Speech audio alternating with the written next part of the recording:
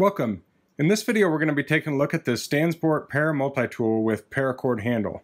So at our last uh, camping experience we bought a bundle of logs, um, bundle of wood from the RV park and as we were like trying to get our fire going we didn't have any sticks and I mentioned to my wife that we probably need a little hatchet to kind of cleave off the edge of the log to make kind of some sticks because where we were it was built in the middle of a farm field. There aren't really any trees around to get sticks from the woods or anything.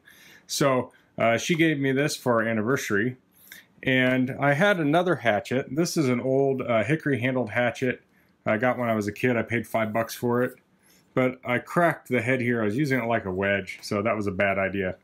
So we have this now, and I'll put a link in the description of this on Amazon, and if you buy one of these using that link, it helps me out a little bit and doesn't cost you anything extra. So this has a couple different features of it. It's a little kind of hatchet thing. It has a 10, 14, and 17, I think, millimeter uh, sockets on there, or wrenches. It has a cord cutter, and it looks like you could use that as a bottle opener too. And it comes with a flint igniter and 96 um, inches of paracord and steel construction. It also comes with a pouch here. So open this up.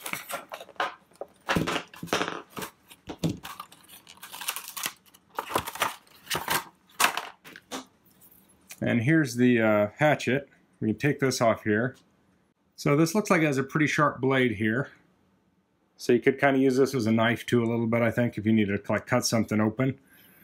And uh, these wrenches could be useful in certain situations. Um, you know, I know 10 millimeters used a lot. That's used on like a lot of battery clamps, but you're not going to get this on a battery clamp at that angle. And then this is a little cord cutter. And in the video they have on Amazon, they show someone using it like this to um, do sparks. But this has kind of a coating on it. Looks like maybe this does too. So I'm not going to use this to start fires. I have a lighter to do that. But um, also the paracord here is part of your cushioning on your handle. So it's not like you're going to take this off if you need like a foot of paracord just to like tie up something small. But in an emergency situation, you might need that. And you can still use this if you take the paracord off. And it looks like you could easily uh, rewrap this. Um, it looks like they just make a loop here and they twist it and go back and forth to either side. So you could rewrap this uh, with paracord if you did take that off and use it. So it comes with this rubber here to cover the blade like that. And then it also comes with this holster.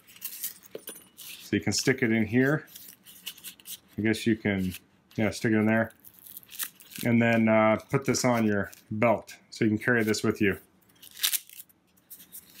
So one thing I like about this over the uh, the old one here is you can tell this is a lot smaller. So this is a lot easier to pack in with our gear because we're not. I'm not going to use a hatchet very often. I mean, I have a little pruning saw I take with us camping, so if I want to cut a small stick, but this would be good for you know, small chopping, uh, things like that. And it takes up very little room compared to this big thing. And I don't know, I might take this with me just to uh, mess with it. I've never even started a fire with one of these, but and you can see how thick it is here. Let me measure this with my calipers. So this looks like it's three and a half millimeters thick.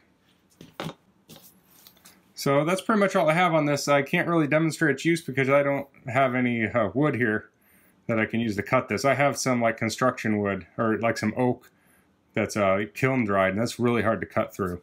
Um, but uh, I think that'll be a nice addition to our camp box and it'll come in handy when we need to uh, split some wood.